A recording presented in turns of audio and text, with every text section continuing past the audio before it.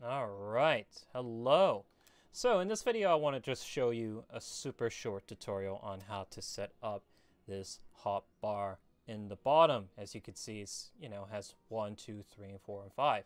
So how on earth do you set that up? Well, it's relatively simple, but first, let's make sure that we hit the F11 key to make sure that, you know, the keyboard controls are actually turned on. Otherwise, that will be a problem.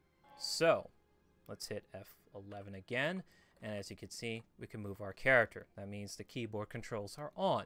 So let's hit the home key. And then we're going to go down to customize. We'll hit the enter key. And then we'll hit enter again. And then here, this is where you would just utilize the numbers. So let's hit, you know, the the one key and then we could go down and hit the other key and then there you go.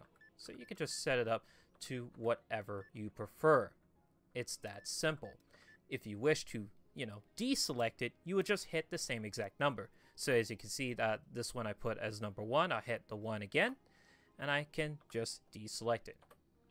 It's that simple. Of course you can always just switch it to whatever you really prefer but there you go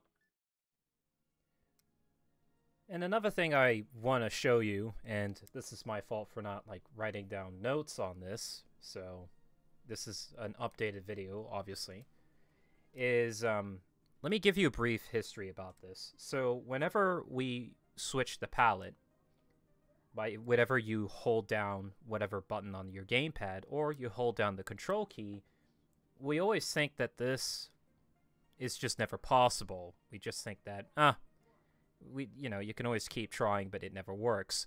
So as time passes on there was a temporary fix and now it's built into the client. So i'm very sorry for not showing this aspect here so i'll show you how this works.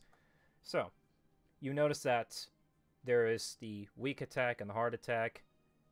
Well that's the main palette and then if we were to switch there's nothing going on here. So how you do that is very simple. We go to home key go to customize again, and then make sure you hit the control or whatever you have to your gamepad and switch here. So let's set um, this one to 1, set this to 2, and then set this to 3, and hopefully that will work. Let's hit home key again, and I hold down the control, and there you have it.